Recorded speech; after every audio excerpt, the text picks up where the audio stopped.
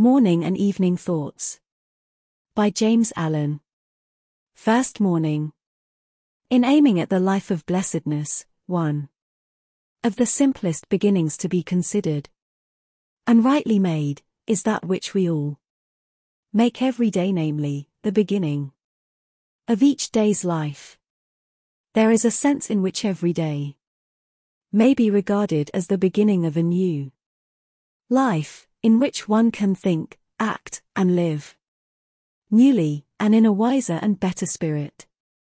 The right beginning of the day will be followed by a cheerfulness permeating the household with a sunny influence, and the tasks and duties of the day will be undertaken in a strong and confident spirit, and the whole day will be well lived. First evening. There can be no progress, no achievement. Without sacrifice, and a man's worldly success will be in the measure that he sacrifices his confused animal thoughts and fixes his mind on the development of his plans and the strengthening of his resolution and self reliance. And the higher he lifts his thoughts, the more manly, upright, and righteous he becomes, the greater will be his success. The more blessed and enduring will be his achievements. Second morning. None but right acts can follow right thoughts, none but a right life can follow right acts, and by living a right life all blessedness is achieved.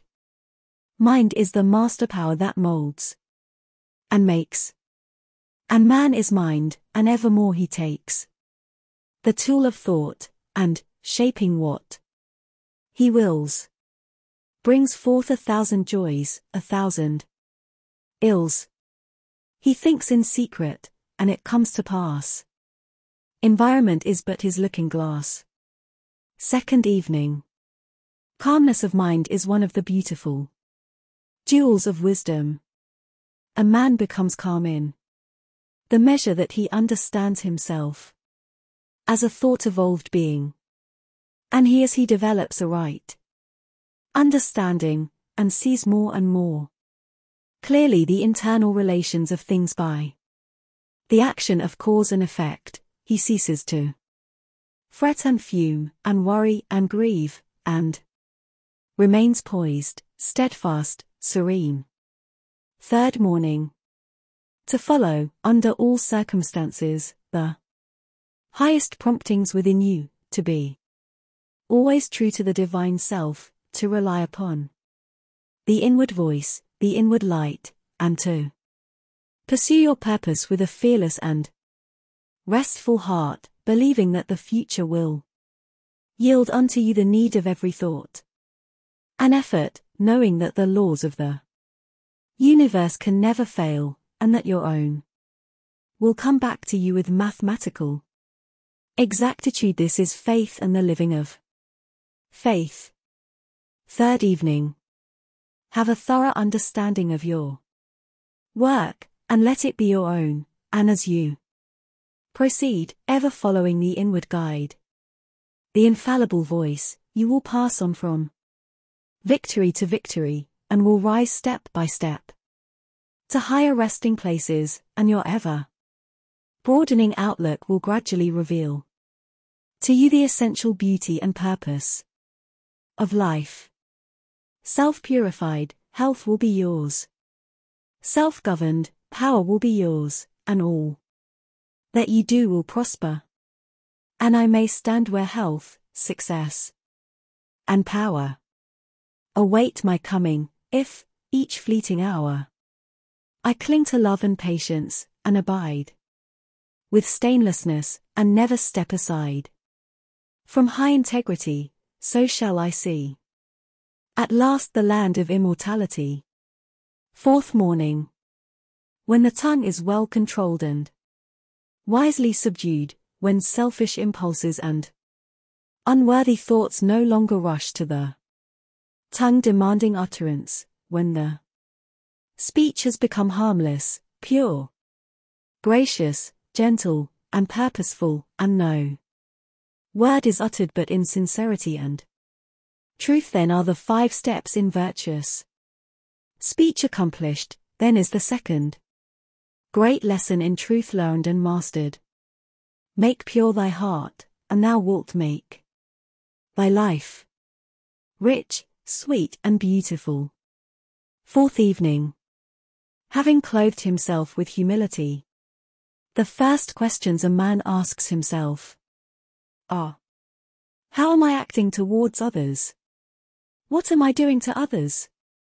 How am I thinking of others? Are my thoughts of, and acts towards, others prompted by unselfish love? As a man, in the silence of his soul, asks himself these searching questions, he will unerringly see where he has hitherto failed. Fifth morning. To dwell in love always and towards all. Is to live the true life, is to have life itself.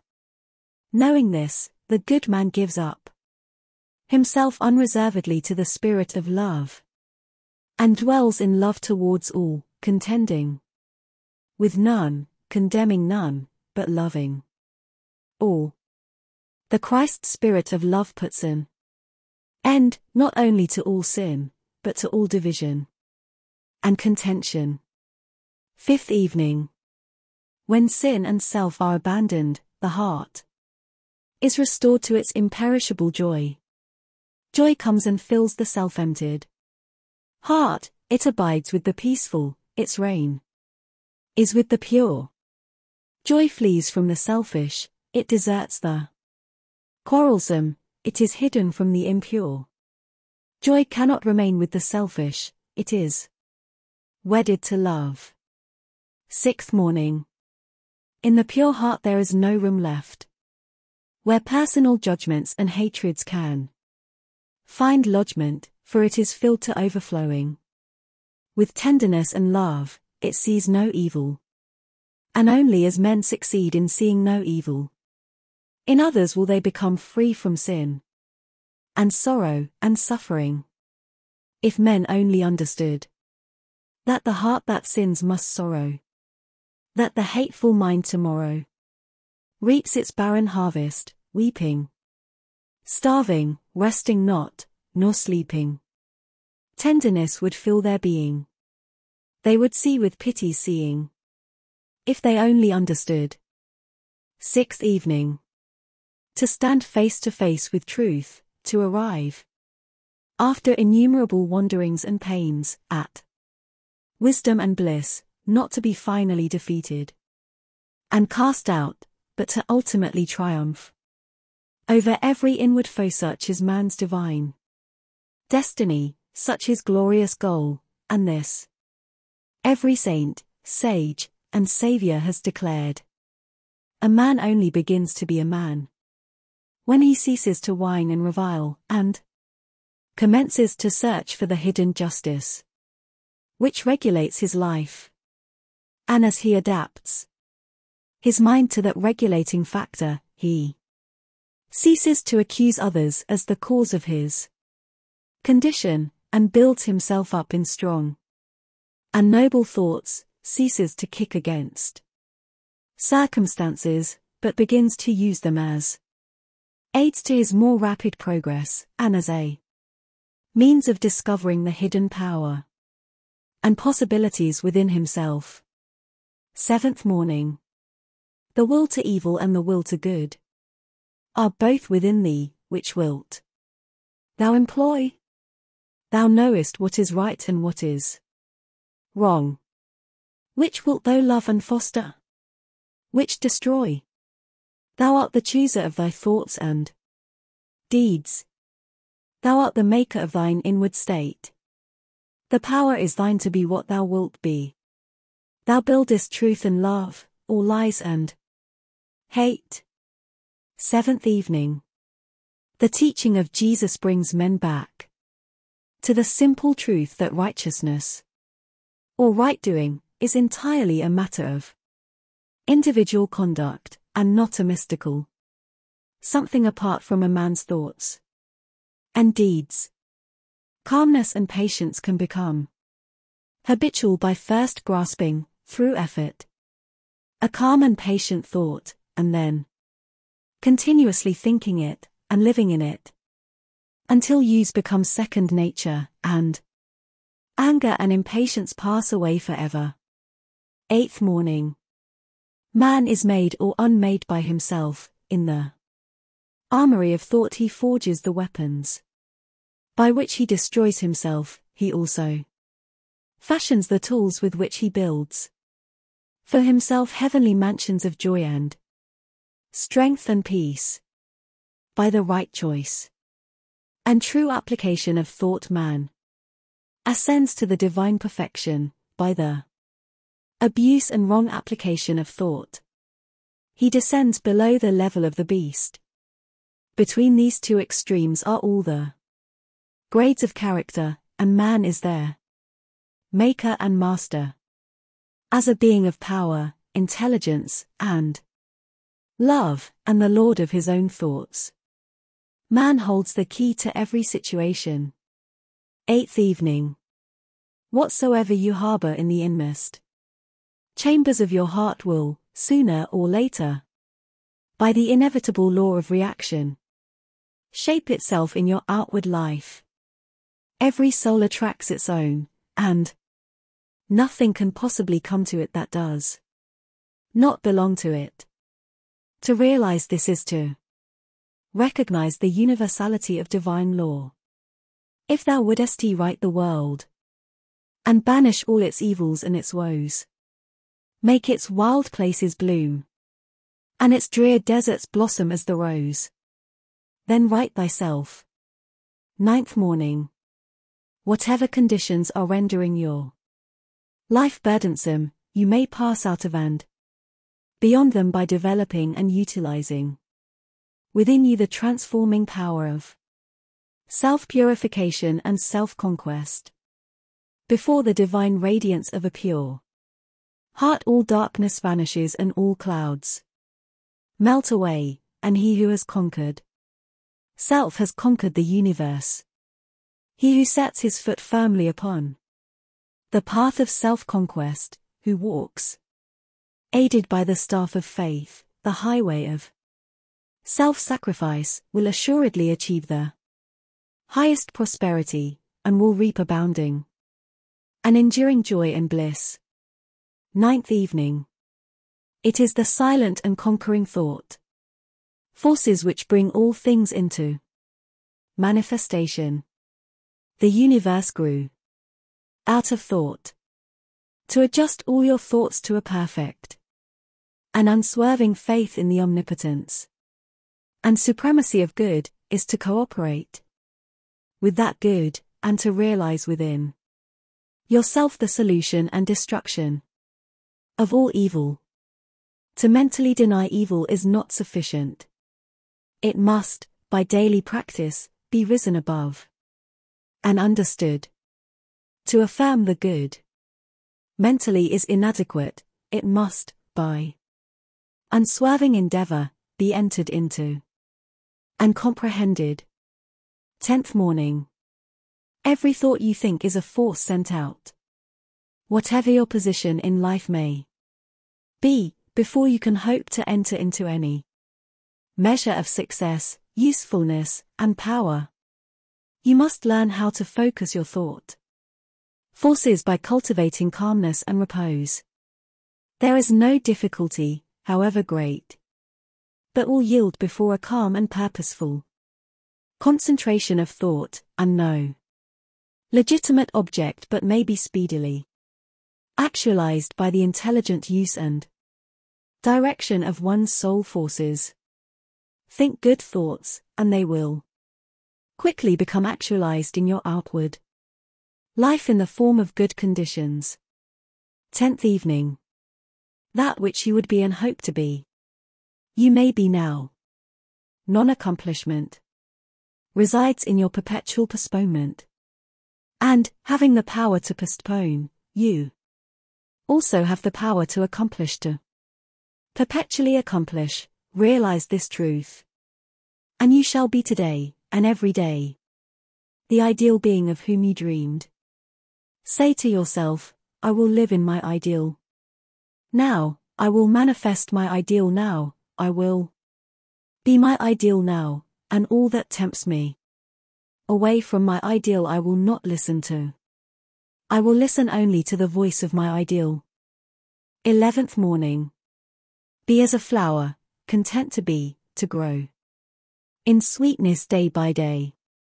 If thou wouldest he perfect thyself in knowledge, perfect thyself in love. If thou wouldest he reach the highest. Ceaselessly cultivate a loving and compassionate heart. To him who chooses goodness, sacrificing all, is given that which is more than, and includes, all. Eleventh evening. The great law never cheats any man of his just due. Human life, when rightly lived, is simple with a beautiful simplicity. He who comprehends the utter simplicity of life, who obeys its laws, and does not step aside into the dark, paths and complex mazes of selfish desire. Stands where no harm can reach him.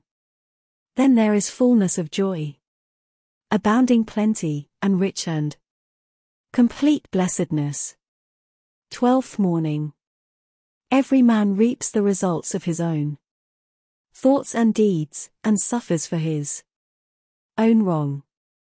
He who begins right, and continues right, does not need to desire and search. For felicitous results, they are already at hand, they follow as consequences, they are the certainties, the realities, of life. Sweet is the rest and deep is the bliss of him who has freed his heart from its lusts and hatreds and dark desires. Twelfth evening. You are the creator of your own shadows. You desire, and then you grieve, renounce. And then you shall rejoice. Of all the beautiful truths pertaining to the soul, none is more gladdening or fruitful of divine promise and confidence than this that man is the master of thought, the moulder of character, and the maker and shaper of character, environment, and destiny. 13th morning. As darkness is a passing shadow, and light is a substance that remains, so sorrow is fleeting, but joy abides forever. No true thing can pass away and become lost, no false thing can remain and be preserved. Sorrow is false, and it cannot live, joy is true, and it cannot die. Joy may become hidden for a time, but it can always be recovered, sorrow may remain for a period. But it can be transcended and dispersed. Do not think your sorrow will remain. It will pass away like a cloud. Do not believe that the torments of sin are ever your portion, they will vanish like a hideous nightmare. Awake. Arise. Be holy and joyful. Thirteenth evening. Tribulation lasts only so long as there remains some chaff of self which needs to be removed. The tribulum, or threshing machine, ceases to work when all the grain is separated from the chaff. And when the last impurities are blown away from the soul, tribulation has completed its work and there is no more need for it. Then abiding joy is realized. The sole and supreme use of suffering is to purify, to burn out all that is useless and impure. Suffering ceases for him. Who is pure? There could be no object. In burning gold after the dross had been removed. Fourteenth morning. In speaking of self-control, one is easily misunderstood. It should not be associated with a destructive repression, but with a constructive expression. A man is happy, wise, and great in the measure that he controls himself, he is wretched, foolish, and mean in the measure that he allows his animal nature to dominate his thoughts and actions. He who controls himself, controls his life, his circumstances, his destiny, and wherever he goes, he carries his happiness with him as an abiding possession. Renunciation precedes regeneration. The permanent happiness which men seek in dissipation, excitement, and abandonment to unworthy pleasures is found only in the life which reverses. All this the life of self-control. Fourteenth evening. Law, not confusion, is the dominating principle in the universe, justice, not. Injustice is the soul and substance of life. And righteousness, not corruption, is the molding and moving force in the spiritual government of the world. This being so, man has but the right himself to find that. The universe is right. When I am pure, I shall have solved the mystery of life. I shall be sure. When I am free from hatred, lust and strife, I am in truth, and truth abides in me. I shall be safe, and sane, and wholly free. When I am pure, Fifteenth morning. If men only understood that their hatred and resentment slays their peace and sweet contentment, hurts themselves, helps not another, does not cheer one lonely brother, they would seek the better doing of good deeds which leaves no ruing. If they only understood, if men only understood how love conquers, how prevailing. Is its might, grim hate assailing? How compassion endeth sorrow? Maketh wise, and doth not borrow. Pain of passion, they would ever. Live in love, in hatred never. If they only understood. Fifteenth evening. The grace and beauty that were in Jesus can be of no value to you cannot be understood by you unless they are also in you, and they can never be in you, until you practice them, for, apart from doing the qualities which constitute goodness, do not, as far as you are concerned, exist. To adore Jesus for his good qualities is a long step towards truth, but to practice those qualities is truth itself, and he who fully adores the perfection of another will not rest content in his own imperfection, but will fashion his soul after the likeness of that other. Therefore thou who adorest Jesus for his divine qualities, practice those qualities thyself, and thou too shalt be divine. Sixteenth morning. Let a man realize that life in its totality proceeds from the mind, and lo, the way of blessedness is opened up to him. 4. He will then discover that he possesses the power to rule his mind and to fashion it in accordance with his ideal. So will he elect to strongly instead fastly walk those pathways of thought and action which are altogether excellent, to him life will become beautiful and sacred. And, sooner or later, he will put to flight all evil, confusion, and suffering, for it is impossible for a man to fall short of liberation, enlightenment, and peace. Who guards with unwearying diligence the gateway of his heart. 16th Evening By constantly overcoming self, a man gains a knowledge of the subtle intricacies of his mind, and it is this divine knowledge which enables him to become established in calmness. Without self knowledge, there can be no abiding peace of mind, and those who are carried away by tempestuous passions cannot approach the holy place where calmness reigns. The weak man is like one who, having mounted a fiery steed, allows it to run away with him, and carry him whithersoever it wills. the strong man is like one who, having mounted the steed, governs it with a masterly hand and makes it go in whatever direction and at whatever speed. He commands. Seventeenth morning. There is no strife, no selfishness, in the kingdom, there is perfect harmony, equipoise, and rest. Those who live in the kingdom of love, have all their needs supplied by the law of love. A self is the root cause of all strife and suffering, so love is the root cause of all peace and bliss.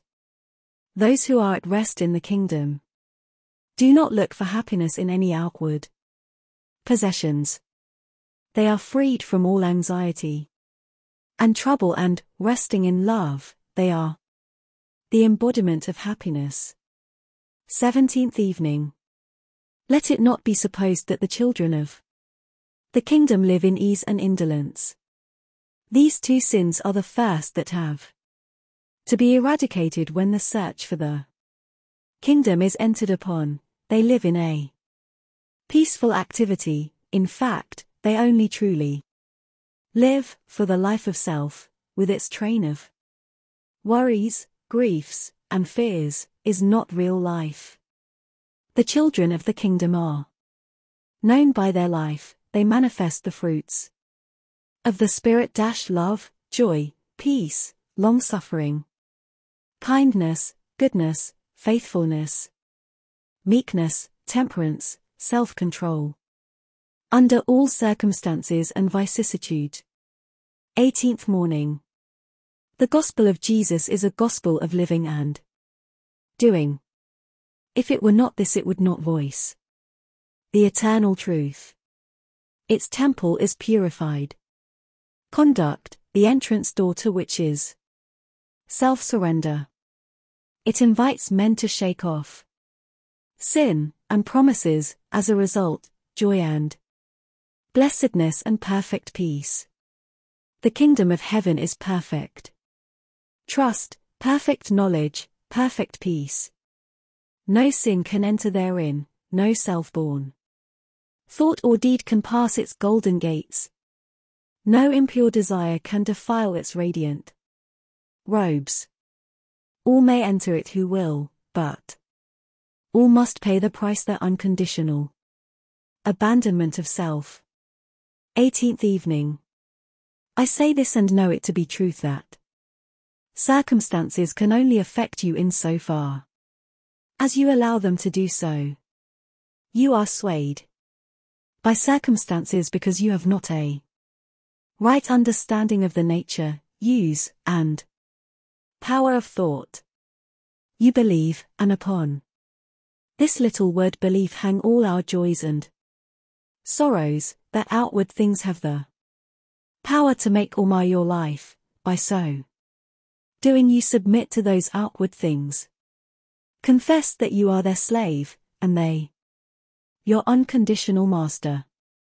By so doing, you invest them with a power which they do not of themselves possess, and you succumb, in reality not to the circumstances, but to the gloom or gladness, the fear or hope, the strength of weakness, which your thoughts fear has thrown around them. 19th morning.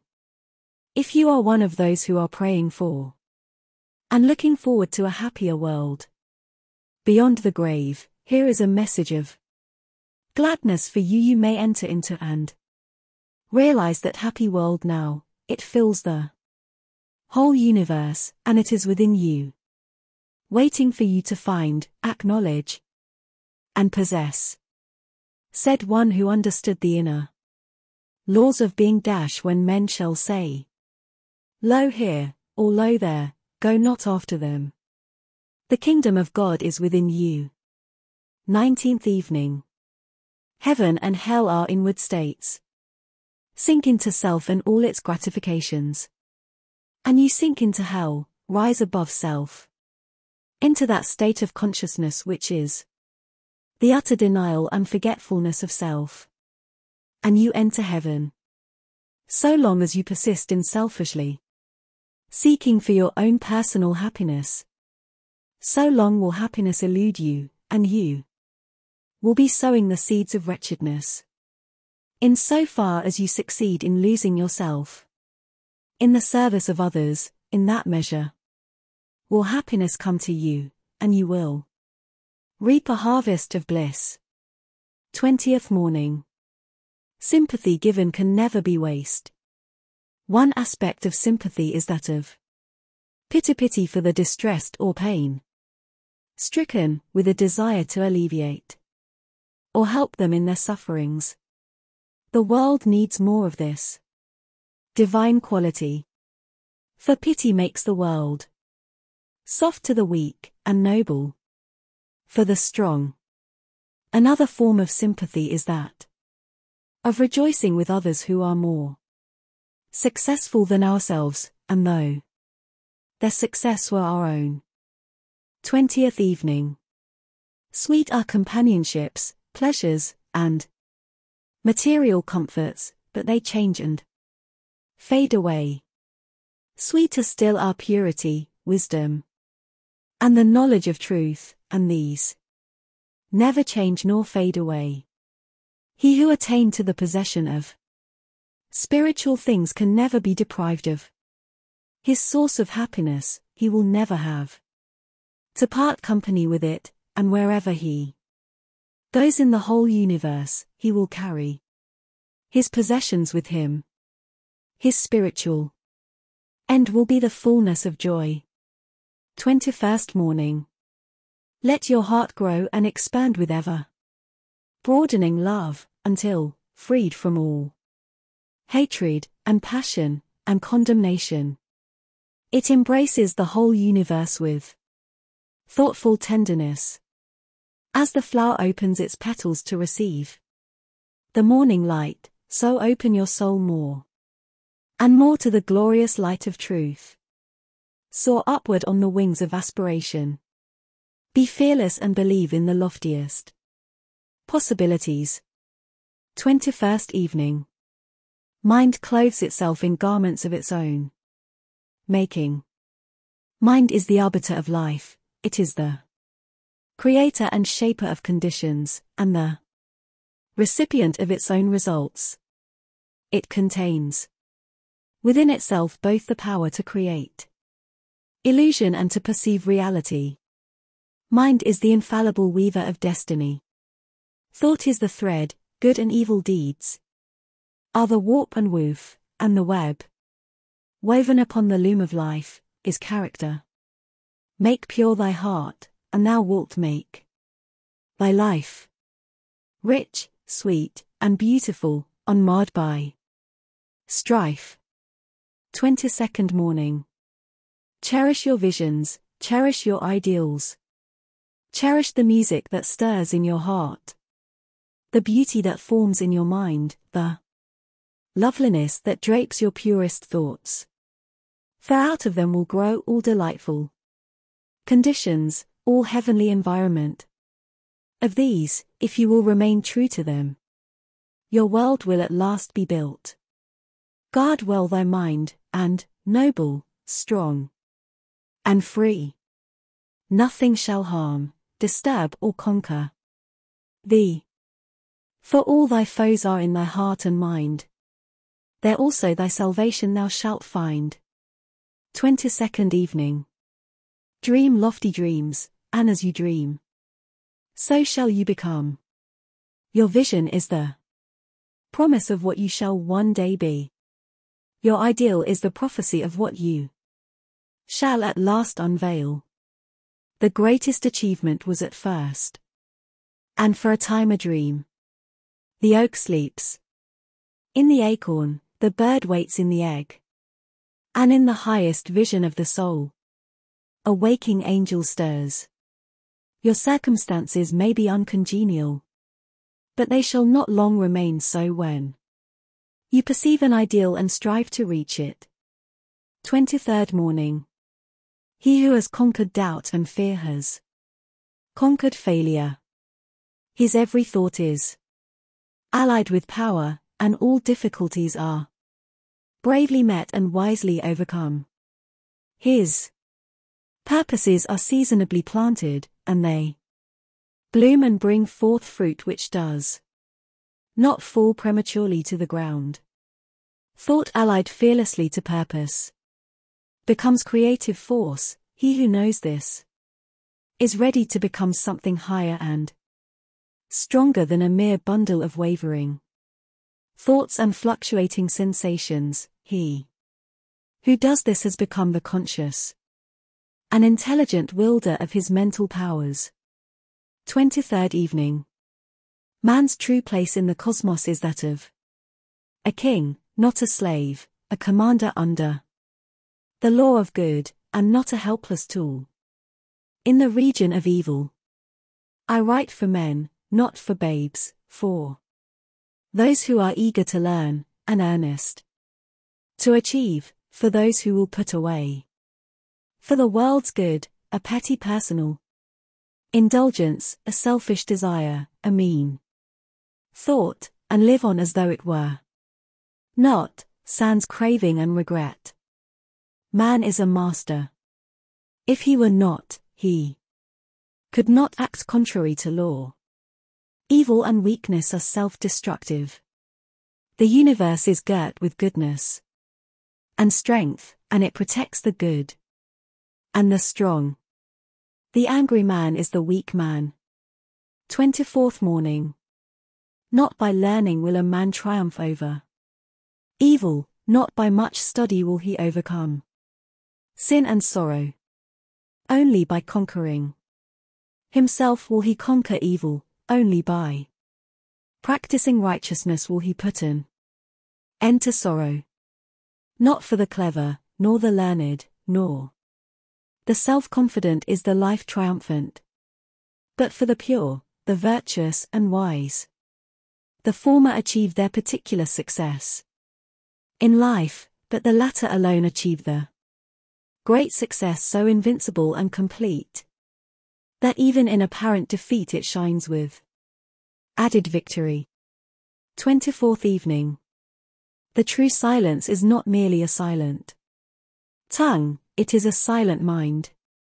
To merely hold one's tongue, and yet to carry about a disturbed and rankling mind, is no remedy for weakness, and no source of power.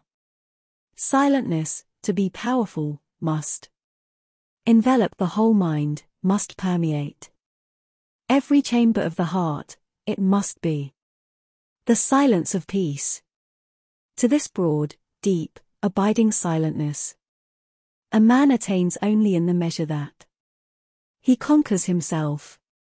25th Morning By curbing his tongue, a man gains possession of his mind the fool babbles, gossips, argues, and bandies words.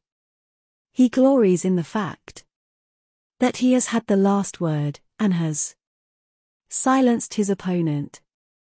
He exults in his own folly, is ever on the defensive, and wastes his energies in unprofitable channels. He is like a gardener who continues to dig and plant in unproductive soil. The wise man avoids idle words, gossips, vain argument, and self-defense. He is content to appear defeated, rejoices when he is defeated, knowing that, having found and removed another error in himself, he has thereby become wiser. Blessed is he who does not strive for the last word. 25th evening. Desire is the craving for possession, aspiration. Is the hunger of the heart for peace. The craving for things leads ever. Farther and farther from peace, and not. Only ends in deprivation, but is in itself. A state of perpetual want. Until it comes. To an end, rest and satisfaction are impossible. The hunger for things can never be satisfied, but the hunger for peace can. And the satisfaction of peace is found. Is fully possessed, when all selfish desire is abandoned.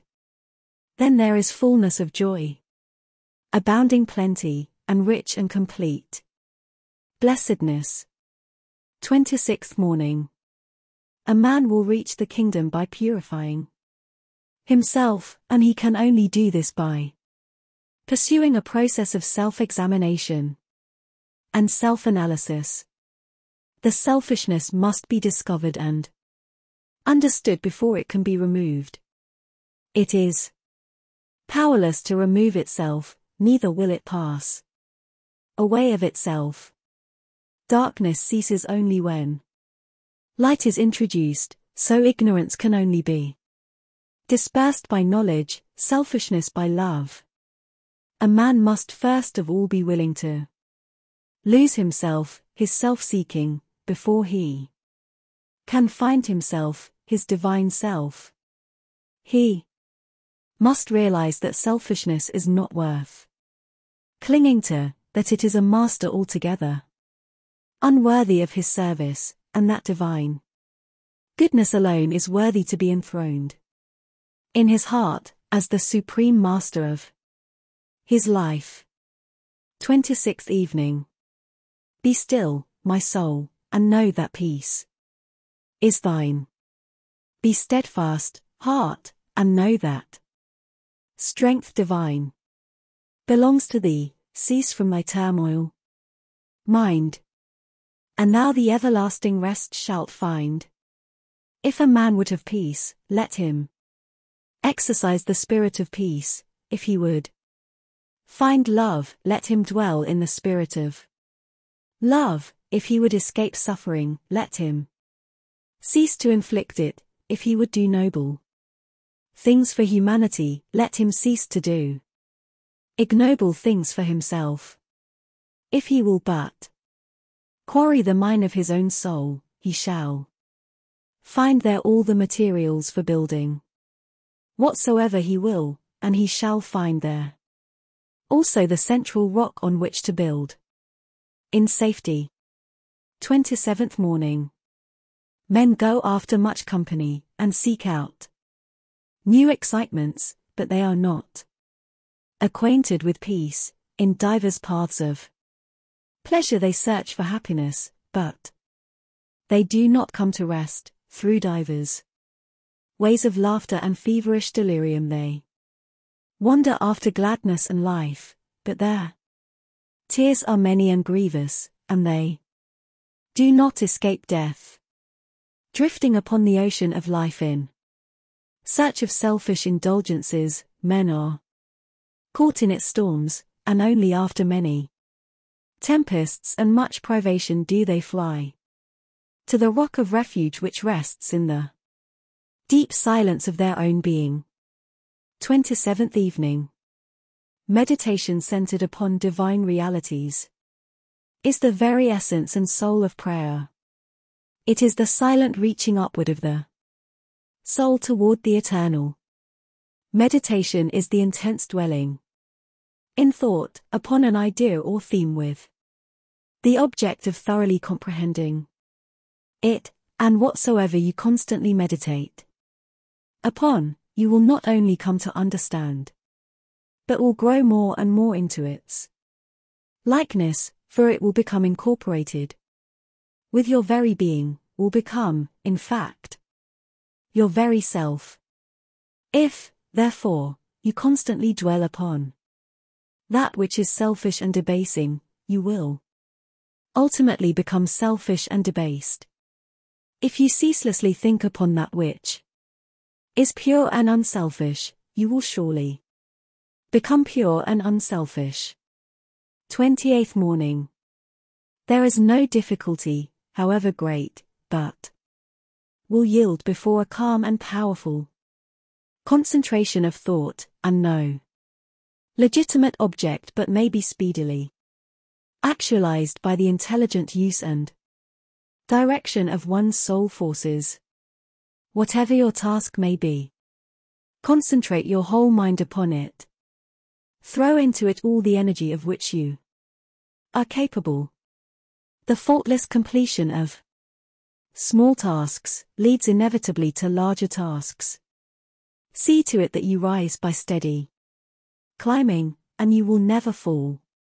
28th Evening He who knows that love is at the heart of all things, and has realized the all sufficing power of that love, has no room in his heart for condemnation. If you love people and speak of them with praise, until they in some way thwart you, or do something of which you disapprove, and then you dislike them, and speak of them with dispraise, you are not governed by the love which is of God. If, in your heart, you are continually arraigning and condemning others. Selfless love is hidden from you. Train your mind in strong, impartial, and gentle thought, train your heart in purity and compassion, train your tongue to silence and to true and stainless speech.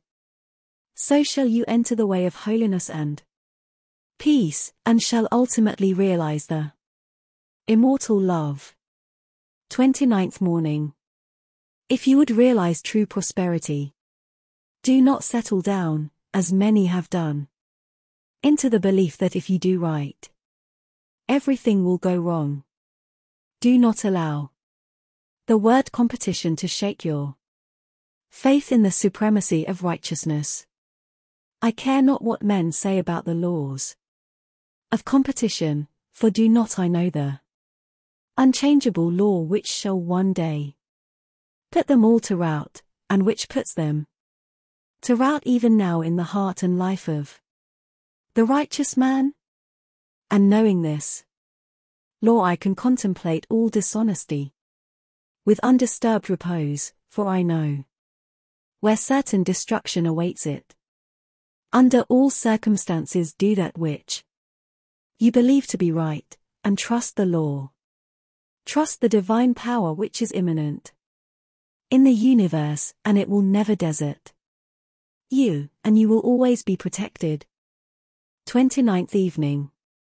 Forget yourself entirely in the sorrows of others, and in ministering to others, and divine happiness will emancipate you from all sorrow and suffering. Taking the first step with a good thought, the second with a good word, and the third with a good deed, I entered paradise. And you also enter paradise by pursuing the same course. Lose yourself in the welfare of others. Forget yourself in all that you do this is the secret of abounding happiness. Ever be on the watch to guard against selfishness and learn faithfully the divine lessons of inward sacrifice, so shall you climb the highest heights of happiness and shall remain in the never clouded sunshine of universal joy, clothed in the shining garment of immortality. Thirtieth morning. When the farmer has tilled and dressed his land and put in the seed, he knows that he has done all that he can possibly do, and that now he must trust to the elements, and wait patiently for the course of time to bring about the harvest. And that no amount of expectancy on his part will affect the result. Even so, he who has realized truth goes forth as a sower of the seeds of goodness, purity, love, and peace, without expectancy and never looking for results. Knowing that there is the great over ruling law which brings about its own harvest in due time, and which is alike the source of preservation and destruction. Thirtieth evening. The virtuous put a check upon themselves and set a watch upon their passions and emotions, in this way they gain possession of the mind and gradually acquire calmness. And as they acquire influence, power, greatness, abiding joy, and fullness and completeness of life. He only finds peace who conquers himself, who strives, day by day, after greater self possession, greater self control, greater calmness of mind. Where the calm mind is, there is strength and rest, there is love and wisdom, there is one who has fought successfully innumerable battles against self, who, after long toil in secret against his own failings, has triumphed at last. 31st morning. Sympathy bestowed increases its store in our own heart and enriches and fructifies our own life. Sympathy given is blessedness. Received, sympathy withheld is blessedness forfeited. In the measure that a man increases and enlarges his sympathy so much, nearer does he approach the ideal life, the perfect blessedness, and when his heart has become so mellowed that no hard, bitter, or cruel thought can enter and detract from its permanent sweetness. Then indeed is he richly and divinely blessed. 31st Evening. Sweet is the rest and deep the bliss of him who has freed his heart from its lusts and hatreds and dark desires, and he who, without any shadow of bitterness resting upon him, and looking out upon the world, with boundless compassion and love, can breathe, in his inmost heart, the blessing, peace unto all living things, making no exceptions or distinctions. Such a man has reached that happy ending, which can never be taken away, for this is the perfection of life, the fullness of peace, the consummation of perfect blessedness.